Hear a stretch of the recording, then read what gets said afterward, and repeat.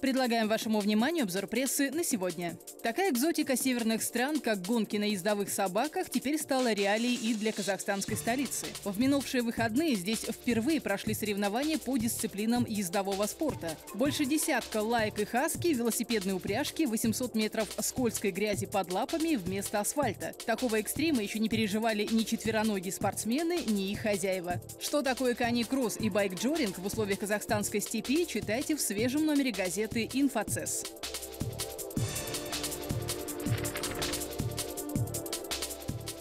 Чемпионат мира по боксу среди взрослых посетил олимпийский чемпион Афин, экс-чемпион мира в супертяжелом весе по версии WBA Александр Поветкин. В эксклюзивном интервью про спорта Дамиру Серикпаеву прославленный спортсмен рассказал о том, почему у него не сложился бой с Владимиром Кличко, как Александр оценивает дальнейшие перспективы Геннадия Головкина и что нужно делать для развития массового спорта, бокса в частности. Читайте также в новом номере материал «Крик о помощи», в котором Айбек Алдабергенов анализирует последние проблемы казахстанского футбола.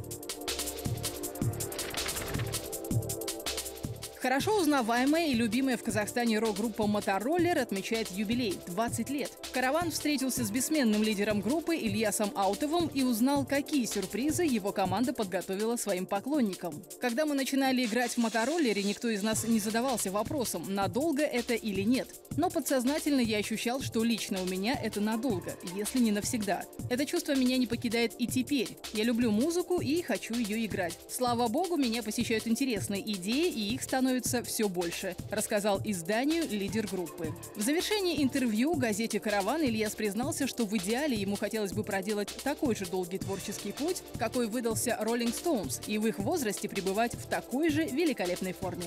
А прессу на сегодня все. Читайте газеты.